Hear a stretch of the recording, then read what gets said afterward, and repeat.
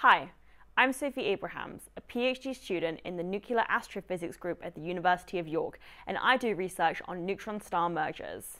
A neutron star is an incredibly dense object in space. They're created when a giant star reaches the end of its life and explodes. When the star explodes, its core collapses and the protons and neutrons inside the core experience such extreme temperatures and densities that they come together to form neutrons. The resulting object has roughly one and a half times the mass of the Sun, and yet it's tiny. You could fit one neutron star into the Greater London area, with enough space left over to fit a second one beside it. Now, neutron stars are amazing enough by themselves, but when you get two neutron stars orbiting each other in what we call a binary system, then an incredibly interesting and violent thing can happen. The stars can join together.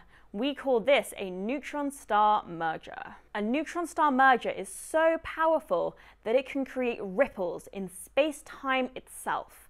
We call these gravitational waves. To create a neutron star merger, we need a very special situation. We need a binary system, which is where two stars are orbiting a common center of mass. This is actually quite common in the universe. Less common is a binary system where both of the stars end their lives by exploding, leaving behind a binary neutron star system. For this to happen, both of the stars need to be really big, at least eight times the mass of our Sun.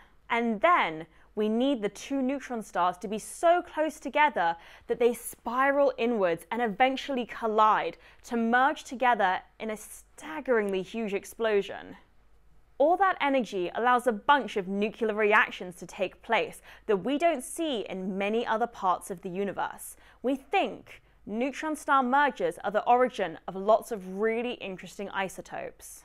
The gold and platinum in your jewelry was created in neutron star mergers. Or perhaps you've heard of francium, the heaviest of the alkali metals, which are known for their brilliantly explosive reactions with water you may have experimented with francium's lighter cousins, sodium and potassium, in the chemistry lab. These isotopes are all made in a nuclear process called rapid neutron capture, where neutrons are quickly added to the nucleus of an atom. And for that reason, these isotopes are called neutron rich in neutron star mergers, there are loads of neutrons flying around, and so this rapid neutron capture process happens a lot, creating a huge number of different isotopes.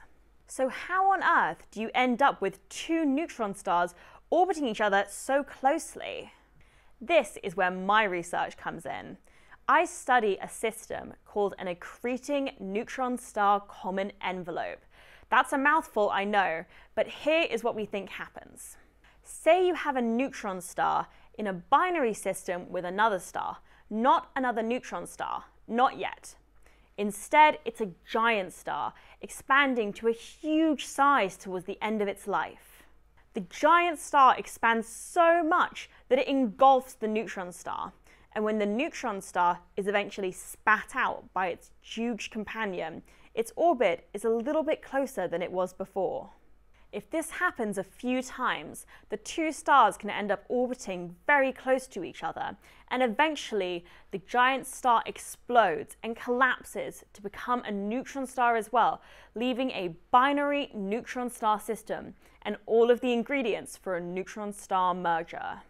Interestingly, when the neutron star is enveloped by its companion, we think that's where heavy proton-rich isotopes might be created, like mercury or krypton.